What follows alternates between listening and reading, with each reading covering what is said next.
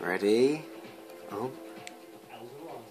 Sunday at 9 on Movies for Men.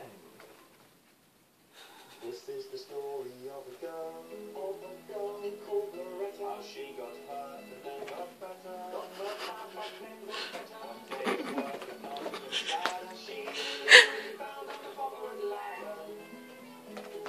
Was much to Loretta's sky. Gave a shrug and Dr. Terry Convey.